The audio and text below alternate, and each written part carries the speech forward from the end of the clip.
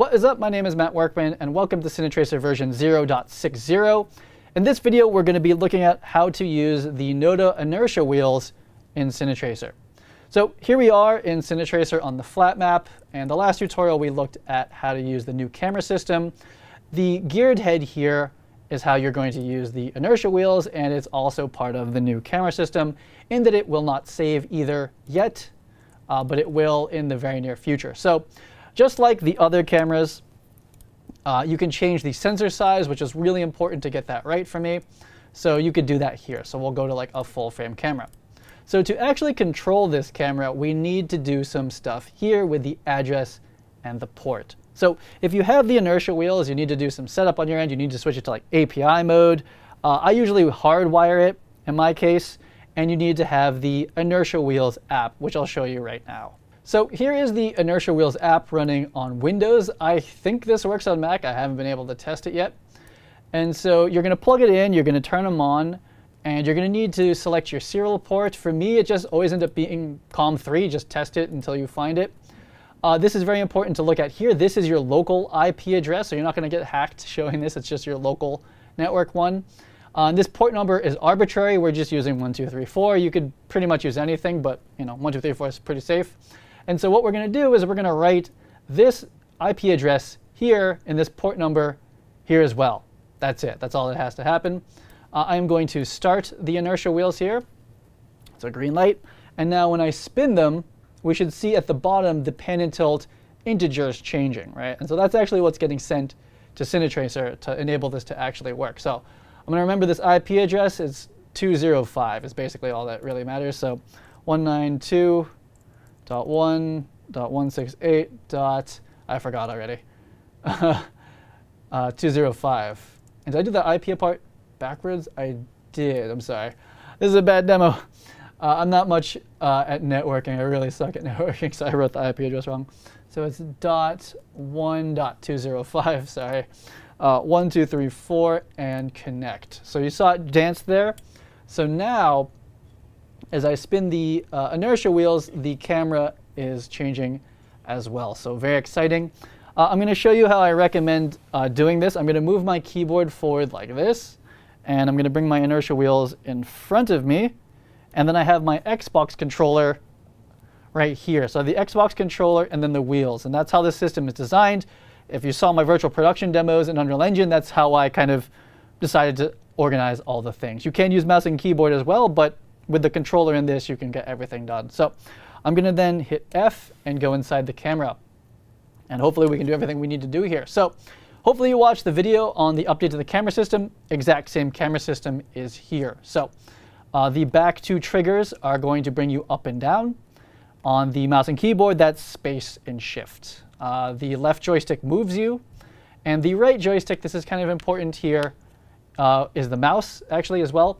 You can't tilt right? You don't want to tilt this setup, in my opinion. So you can only change which way generally the whole system is looking.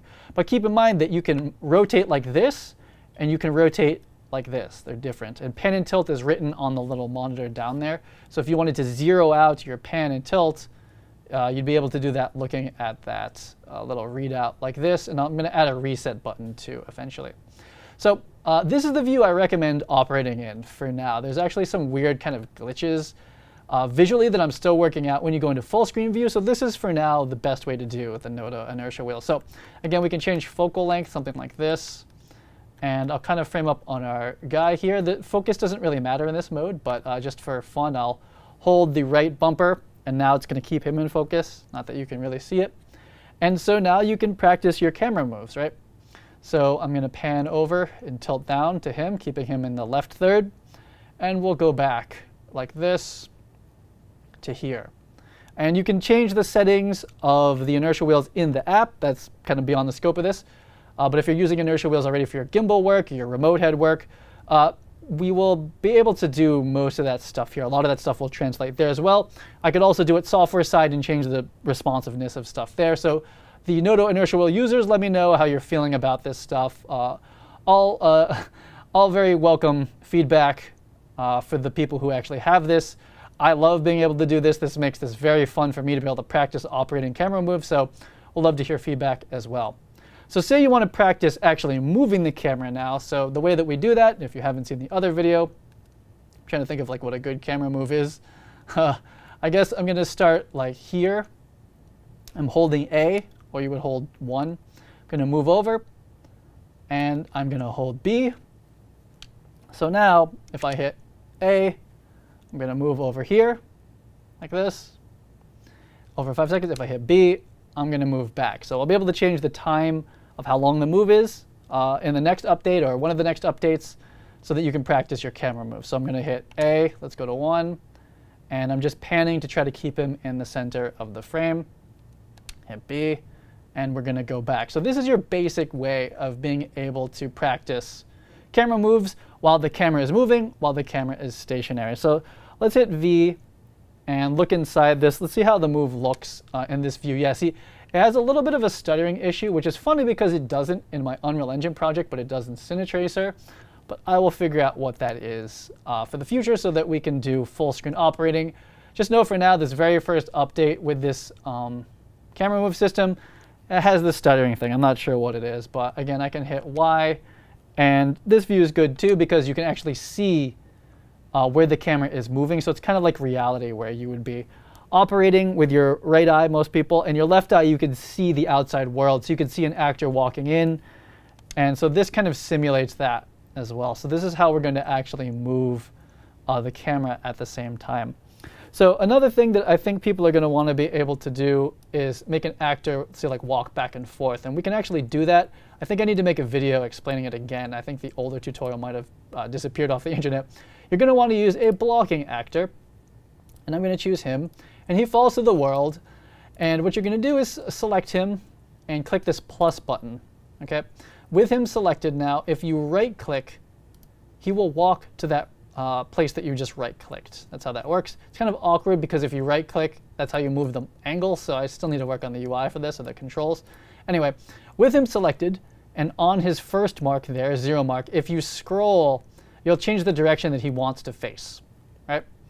And so what we're going to do now is hit plus, and it's going to add another mark, and it added it right on top of the other one.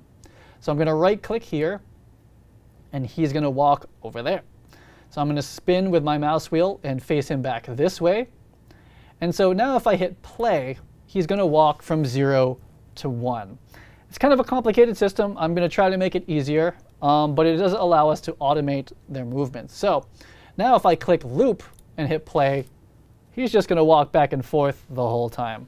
So now, if we jump back into our camera, and again, this is the best view for now, I can practice following along with the actor. And you actually can make pretty complicated moves where he like jumps in the air and pulls out a gun and, and all sorts of stuff. I'm not saying it's like a bug-free system yet, and it could be simpler the UI, but the functionality is in there now to be able to make a simple loop like this, and you're able to practice your camera moves on someone who's walking. So I'm going to switch to a longer lens. I'm going to move the camera to about there and just try to practice moving with our character. So if you're really wanting to use Cinetracer and the inertia wheels for practicing uh, your remote head work, this is the way, right? Stationary, you just do it.